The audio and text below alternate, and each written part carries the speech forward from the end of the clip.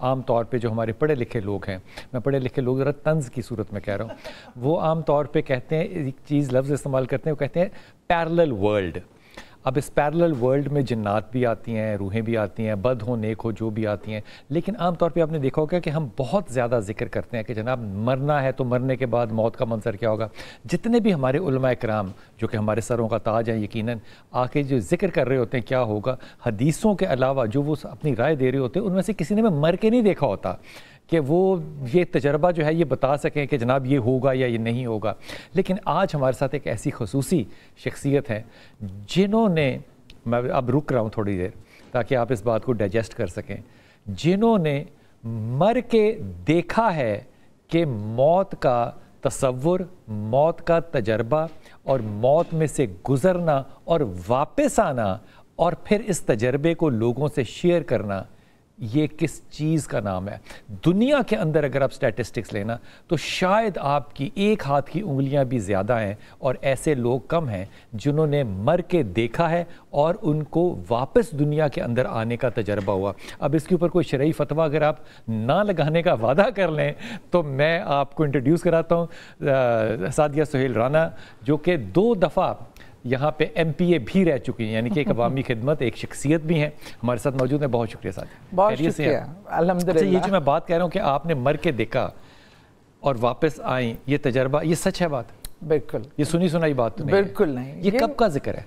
आ, अच्छा ये जो दो एक्सपीरियंस है पहला तो ये दो हैं। दो एक्सपीरियंस है अलग अलग अलग और अलग अलग मतलब एज टाइम में। अच्छा। एक तो जब मैं थी आठ नौ साल की थी। जी। तब आ, मेरी अपेंडिक्स फट गई। मेडिकली भी ये चीज़ है कि और आ, मेरे 78 आवर्स गुजरने के बाद भी डायग्नोज नहीं हो सका। अपेंडिक्स फट गई है वो पूरा जहर फैल गया।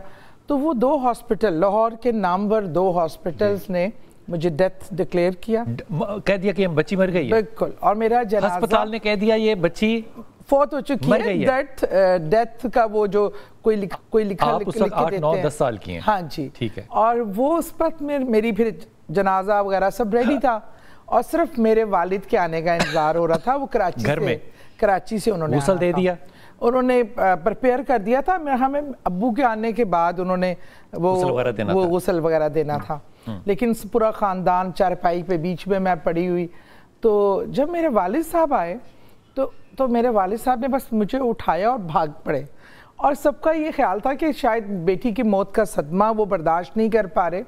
लेकिन वो लेके मुझे आपको लेकर भागे? लेके भागे और C M U C H G G. जो हॉस्पिटल है मैं इसका नाम इसलिए ले रही हूँ कि ये वो है कि जिसने जहाँ से मैंने सरवाइव किया। जी।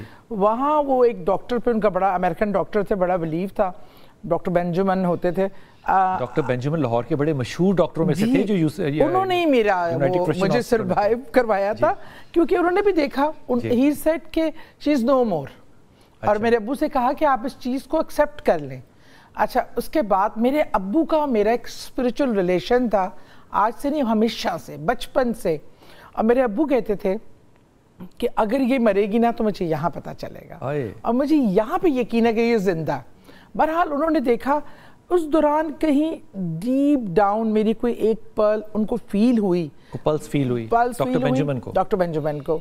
लेकिन एक बार मैं इस प्रोसीजर से गुजर चुकी थी कि मेडिकली सारी मशीनें हर चीज़ लगा लोगों को देख लिया। कहीं मैं कोई अल्लाह की तरफ़ से बाप की मोहब्बत की वजह से अल्लाह ने मुझे एक मौका दिया और उन्होंने कहा हाँ अब मैं ट्राई करूँगा मुझे कहीं झलक शक पड़ गया। फिर वो मेरी कोई अब सात घंटे की सर्जरी हुई एक सर्जरी हुई? साल एक साल क्यों पूरे स्टमक में जहर फैल गया पानी भर गया और आंतें गल गई और सब कुछ अंदर से बाउल सिस्टम पूरा उड़ गया। तो उन्होंने मेरी सर्जरी की और बस उन्होंने कहा कि मुझे नहीं पता ये कैसे बचेगी ये चल सकेगी खा सकेगी क्या कर सकेगी।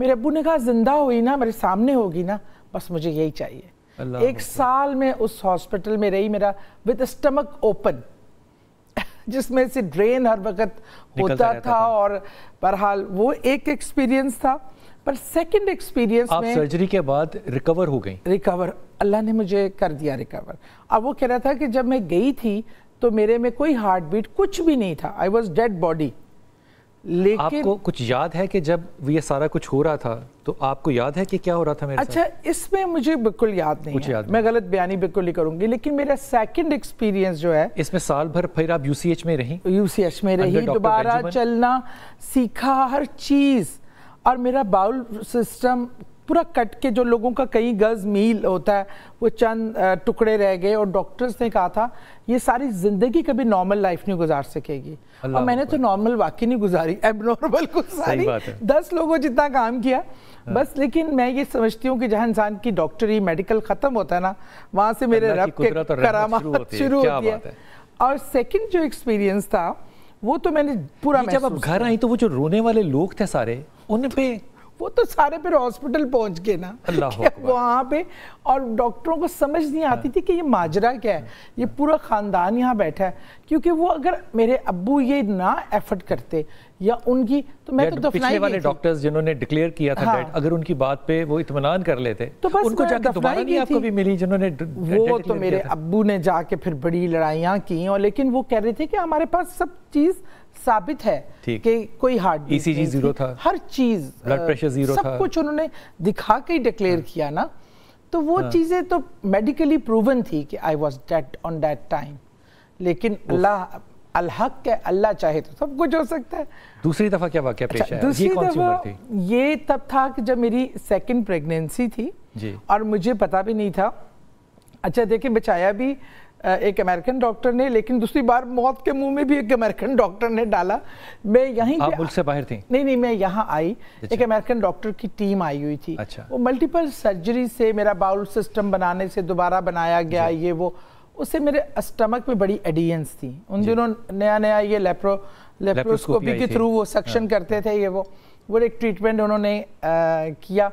और वो हुआ ये क्योंकि आपके प्रोग्राम का दौरानिया छोटा है तो मैं इसको फास्ट फॉरवर्ड करके। सुना रही हूँ बहरहाल उसमें कुछ ऐसी कॉम्प्लिकेशन पैदा हुई कि जब मेरी आँख खुली ना तो मैं सुन रही थी कि आप दवा की नहीं दुआ की ज़रूरत है अच्छा उसमें मेरे हस्बैंड जो जिन्होंने डॉक्टर ने मेरा बाउल सिस्टम बनाया था डॉक्टर शेख अब्दुल समी हाँ। उनके पास ले गए उनका एतमाद था कि ये जानता है जानते हैं इनका सिस्टम तो वो उन्होंने जब देखा उन्होंने कहा तुसी मेरी कुड़ी नाल की तक की है? नो तो मैं दोबारा ज़िंदा किया था। बहरहाल उस टाइम जब मैं वहाँ एडमिट थी और बहुत क्रिटिकल लाहौर में? लाहौर में इतफाक हॉस्पिटल में। तो वहाँ रूम में मैं मतलब थी। तो अब मेरी सास भी बहुत ज़्यादा रिलीजियस और बहुत नेक खातून थी और मेरे अब्बू मेरे पास मौजूद थे। तो मुझे एकदम महसूस हुआ कि मेरे राइट पाँव के अंगूठे से कोई चीज़ सरकना शुरू हो रही है। और मुझे जहाँ जहाँ से वो सरकती महसूस होती ऊपर को चढ़ रही थी? ऊपर को और वहाँ से उसके बाद से वो मेरी मूवमेंट खत्म हो रही थी। अच्छा। अच्छा अब मैं कहना चाहती थी बताना चाहती थी पर मैं बता नहीं पाती थी किसी को। अब मैं देख रही हूँ अब आँखों आँखों से देख रही हूँ कभी अबू की तरफ़ कभी अ, अपनी सास की तरफ़ अम्मी जी की तरफ़ और कि शायद कोई देखे मुझे, कोई कोई- देखे कोई समझे। तो अम्मी जी बैठ के तस्वीर पढ़ रही थी अब्बू मुझे ऐसे बैठ बातें कर रहे थे देख रहे थे एकदम मैं ना आस्ता आस्ता आस्ता जब वो यहाँ तक पहुँची है ना चीज़ तो ऐसे मुझे तो लगा नीचे कि का पैरालाइज होता जा रहा बिल्कुल वो बिल्कुल मेरी मूवमेंट खत्म हो चुकी थी और सेंसेस मेरे बहाल थे। जब यहाँ तक पहुँची है तो मुझे ऐसे लगा कि जैसे बहुत सारे जहाज़ के इंजन नहीं आप स्टार्ट कर दें। खड़खड़ाहट जैसे में बहुत सारे जहाज़ के इंजन इकट्ठे स्टार्ट हो गए हैं। एक शोर है और एक प्रेशर नहीं आता। जहाज़ में एकदम से प्रेशर आता है। तो हर चीज़ एकदम उस शोर के अंदर से ना श्यों करके कोई चीज़ मेरे अंदर से निकल गई। अच्छा अब उसके बाद मंजरनामा चेंज हो गया। अब मैं कमरे में ऐसे लेटी आपको हूँ। महसूस हुआ कि कोई चीज़ निकली है? पता चल गया। और कि मैं मतलब जो थी वो निकल गई है। अब अच्छा। उसके बाद मैं खुद देख रही हूँ कि मैं बेड पे ऐसे लेटी हूँ। अब आप मैं देख रही हैं अपने आप खुद? को? अब मैं छत के ना ऊपर इस पोजीशन में हूँ कि बिल्कुल ऐसे ये मेरा मुँह है और ये मेरी जो बाकी Body है। है वो ऐसे हवा में ना फ्लोट कर रही है ऐसे अपने आप को तिरछी। देख रही है। और मैं देख रही हूँ और मैं कहा इट्स मीन कि मैं गई मर गई आपको बिल्कुल मुझे एक पता चल गया क्योंकि मेरा ना बेटा था सवा तीन ढाई साल का उस टाइम हाँ। पहला बेटा अब अ, मैं देख रही हूँ अबू एकदम मुझे हिला रहे हैं देख रहे हैं अम्मी पढ़ रही हैं अबू भागे हैं बाहर मैंने कहा लो अब छत पे से देख रही मैं देख रही हूँ सब कुछ। अब मैं मुखातिब कर रही हूँ। अब मुझे नहीं पता मेरे साथ मैं क्या मैं अल्लाह को मुखातिब कर रही हूँ? मैं क्या अल्लाह ताला नहीं अभी मेरा बेटा बहुत छोटा है। अल्लाह मुझे जाने दे। अल्लाह मुझे ना लेके जाए। इस टाइम मेरा बेटा आपको एहसास हो गया था कि मुझे पता चल गया था कि मैं मर चुकी हूँ। और मैं कहा नहीं मुझे अपने बेटे के पास जाना है। वो मेरे बगैर कैसे रहेगा अल्लाह? अब वो एक जो जंग चल रही है अंदर डॉक्टर आए हैं डॉक्टर्स ने देखा ईसीजी हो रही है स्ट्रेट लाइन जा रही है पंप कर रहे हैं ये सब कुछ मैं देख रही हूँ। कौन सा डॉक्टर आया मेरी सास क्या कर रही थी मेरे अबू क्या कर रहे थे? उधर से प्रेशर वहाँ से वो बढ़ा रहे हैं।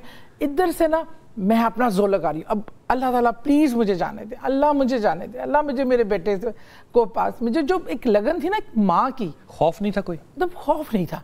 मुझे ऐसे लगती मैं आप हवा में खड़ी हैं ये भी डर नहीं था? ये भी नहीं था।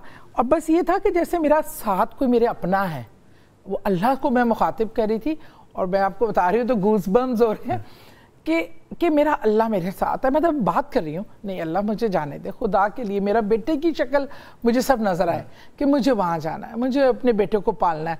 माँ के बगैर ज़िंदगी बड़ी मुश्किल होती है। वो एक माँ की जदोजहद थी कि क्या थी। अब डॉक्टर्स ने ना मुझे ना वो शॉक लगाने वाली मशीन इलेक्ट्रिक करंट हाँ वो मंगवा मंगवा लिया। मेरी सास रो रही हैं मेरे अब्बू ना उस टाइम भी मेरे अब्बू बहुत अच्छे बॉमर्स थे। अब्बू मेरा हाथ अब्बू ने ऐसे करके देखा। तो ऐसे करके ना ऐसे हाथ दबाया और हाथ देखा। मुबैना तौर पे उस मरी हुई बेटी का हाँ हाथ देखा। हाथ देखा। कि लाइफ लाइन वो मेरी चेक कर रहे थे। बहरहाल लेकिन अब्बू के ना मजबूती थी। ऐसे थे पुरतमाद। अब्बू मेरे कभी नहीं डरते घबराते थे। मैंने जब उन्होंने मुझे पहला शॉक लगाया ना मेरी बॉडी ऐसे उछली है। अब मैं कह रही हूँ अब मुझे पता अब ना ऊपर प्रेशर पड़ना शुरू हो गया। जैसे मुझे कोई ऊपर खींच रहा है। जाने के लिए। मैं मुझे लगा कि जैसे ये मैं आखिरी कोई ज़ोर लगा लूँ वरना मैं ऊपर चली जाऊँगी। और फिर मैंने पूरी गड़गड़ाहट और पूरी ताकत के साथ अल्लाह मुझे जाने दे मेरा बेटा बहुत मेरा ढाई साल का बेटा ओए ओए, मैं बस। पूरी ताकत लगाई मैंने और उसने दूसरा मुझे शौक लगाया। तो मैं उठ के बैठ गई हूँ कलमा पढ़ती हुई। मैं उठ के बैठ गई। ये अभी तक आप आपको देख रही हैं। मैं हाँ हाँ जब उसने मुझे दूसरा शौक लगाया ना तो मैंने इसे पूरा ज़ोर नहीं लगा तो उठने के लिए। मैंने कहा अल्लाह ताला मुझे जाने दे।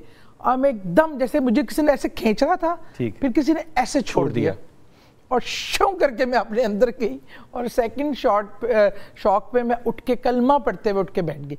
डॉक्टर घबरा के पीछे हट गया कि ये मरी हुई उठ के बैठ गई है।